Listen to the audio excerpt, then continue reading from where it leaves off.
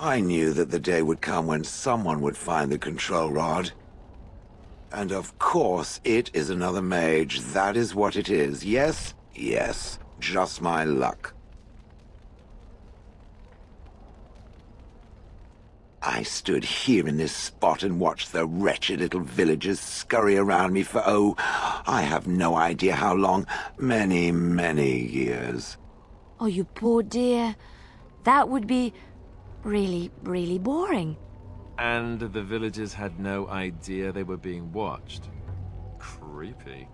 Then one wonders that you wouldn't be grateful to the one who allowed you to stretch your legs, Golem.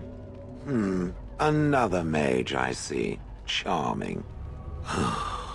I was just beginning to get used to the quiet, too. Tell me, are all the villagers dead? Some got away, then. How unfortunate.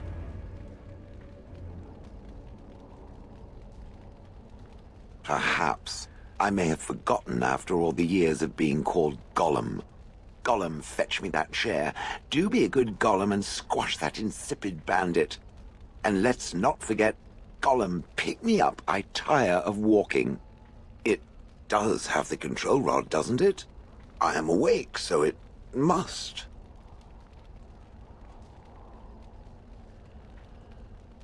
I see the control rod, yet I feel...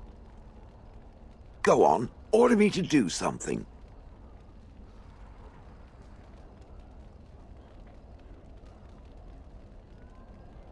Oh, go on. It will be fun. And, uh, nothing. I feel nothing. I feel no compulsion to carry out its command. I suppose this means the rod is... broken?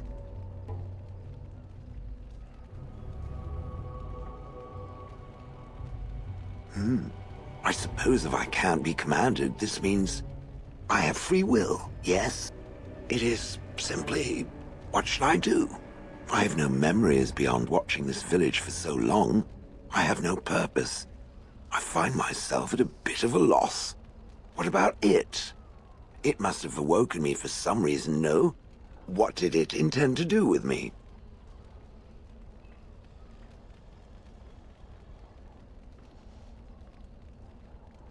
I see. Wonderful. I suppose I have two options, do I not? Go with it or go elsewhere?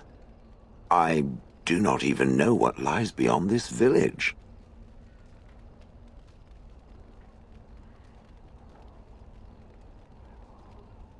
Are you certain you want to bring that thing with us?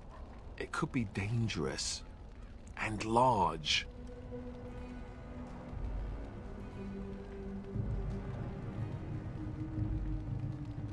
You're welcome. It's good to have a purpose, you know. I will follow it about then. For now. I am called Shale, by the way.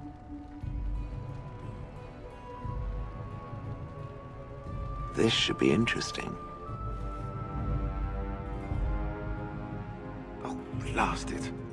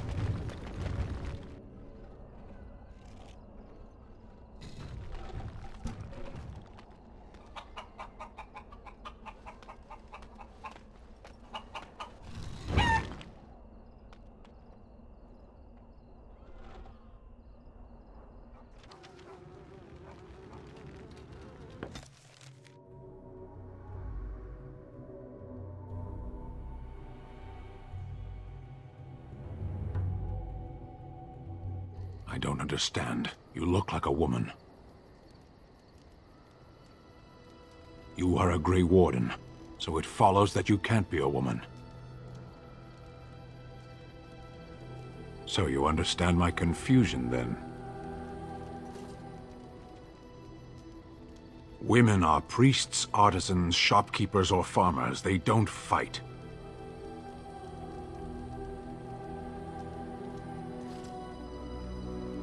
What does that have to do with anything? No one gets to choose who they are. Of course not. It is who I am. That's not up to me. A person is born, Qunari or human or elven or dwarf. He doesn't choose that. The size of his hands, whether he is clever or foolish, the land he comes from, the color of his hair, these are beyond his control. We do not choose, we simply are. Can they? We'll see.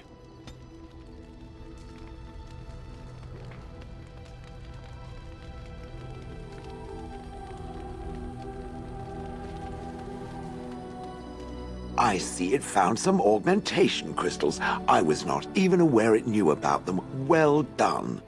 So, what does it think? They don't make me look any wider, do they? I find I'm already too wide as it is.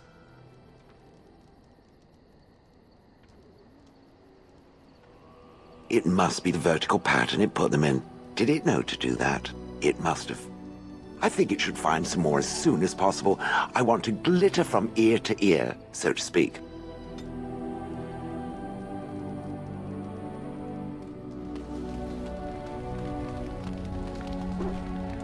Yes? Well, here I am. I knew this would come up sooner or later. I don't know how to explain, but I had a dream. In it, there was an impenetrable darkness. It was so dense, so real. And there was a noise, a terrible, ungodly noise. I stood on a peak and watched as the darkness consumed everything. And when the storm swallowed the last of the sun's light, I. I fell. And the darkness drew me in. When I woke, I went to the Chantry's gardens, as I always do. But that day, the rosebush in the corner had flowered. Everyone knew that bush was dead. It was grey and twisted and gnarled, the ugliest thing you ever saw. But there it was, a single beautiful rose. It was as though the Maker stretched out his hand to say, even in the midst of this darkness, there is hope and beauty. Have faith.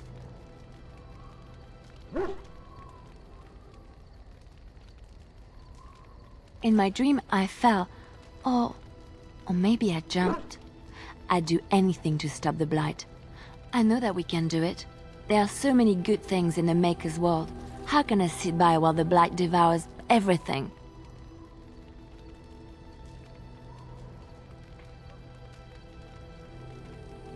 That is why you're a Grey Warden.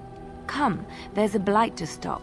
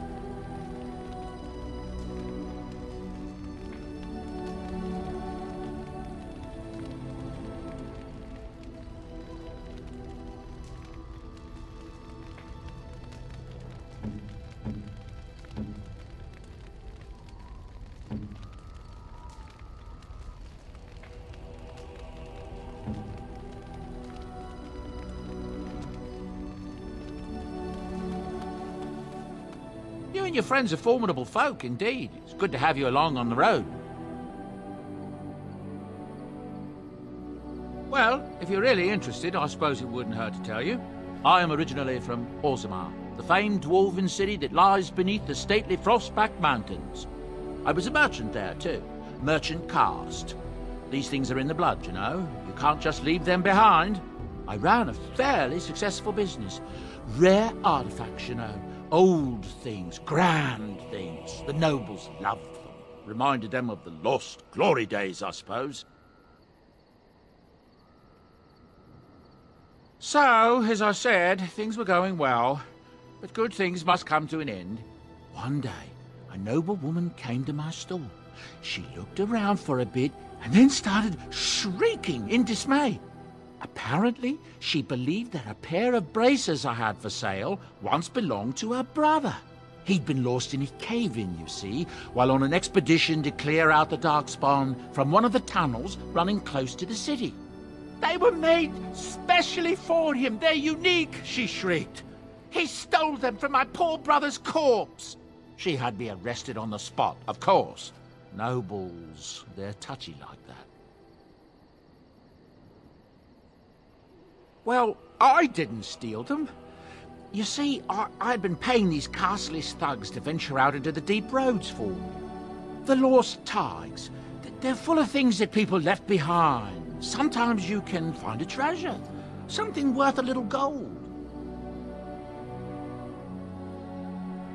That's exactly how I see it. The noblewoman, she wasn't too happy with the theft of her brother's braces. I don't know what they planned for me, I didn't want to find out. Bribed the guard that was watching me and took off for the surface first opportunity I got. Never looked back. You're quite welcome. Now, is there anything the boy or I can get you? I'm sure you'll be pleased with the goods my boy and I have collected, and with your discount.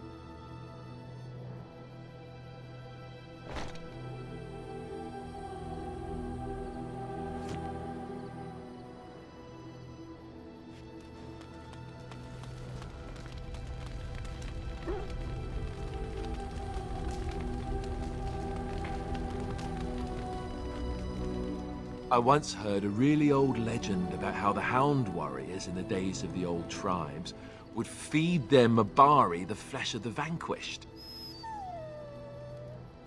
Well, that's what I heard anyway. It would sometimes be human flesh. Oh, like you can tell the difference. For you know, maybe you've already been fed something. Someone.